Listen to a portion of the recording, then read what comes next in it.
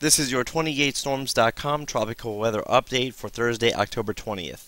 There are currently two areas to monitor. One is located in the central Atlantic. This is a weak surface low that is trying to develop, although I really don't think it has much of a chance to become a tropical cyclone. We have a very strong upper level low located to the northeast of Puerto Rico, and just to the south and east of that upper level low, we have quite a lot of southwest wind shear, so conditions do not appear to be favorable in that area.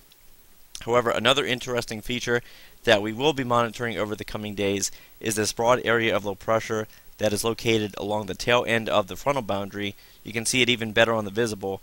This is the frontal boundary that caused a lot of significant weather across Florida over the last 48 hours. It is now stalled out between Honduras and Jamaica, and being that this is mid-October, this is generally the type of setup that you would look for with regard to any potential Western Caribbean development.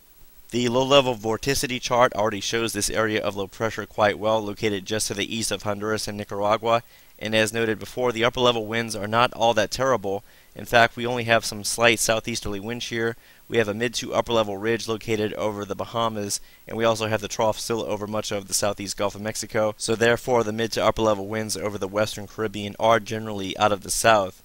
But as you can see here, the wind shear values are not that bad. It's still generally less than 15 to 20 knots and if the wind shear values do relax anymore, then the chances of development could become a little higher. As of right now, the Hurricane Center is giving this area about a 20% chance of tropical cyclone development within the next 48 hours. This is a look at the UK Met model forecast for the next five days.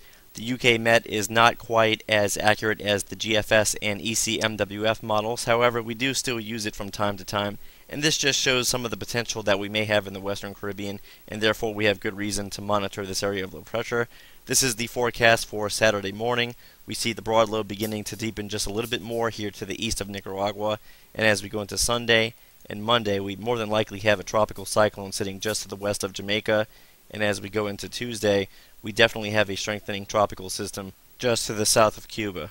In addition, while the CMC model is usually far too aggressive with developing tropical cyclones, the CMC has been consistently developing a tropical cyclone in the Western Caribbean for the past several model cycles.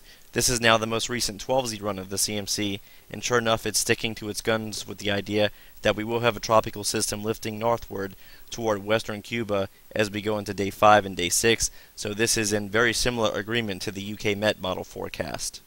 The latest 12Z run of the GFS model is not nearly as aggressive as the CMC and UK Met, However, you can also quite clearly see that it does have a broad area of low pressure that does try to intensify, and it takes it on off toward the west-northwest into Central America by day 7.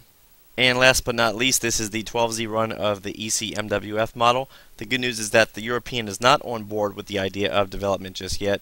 In fact, it keeps much of the Atlantic basin quiet throughout the next 7 to 10 days. And really quickly, this is a look at the far eastern Pacific. We don't see any organized tropical disturbances.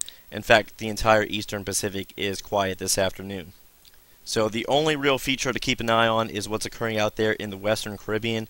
All we have right now is a very weak surface low, and many of the reliable models are not showing any significant development. Most notably, the ECMWF is not showing much of anything down there, so it's really hard to get too aggressive with the idea that anything will develop.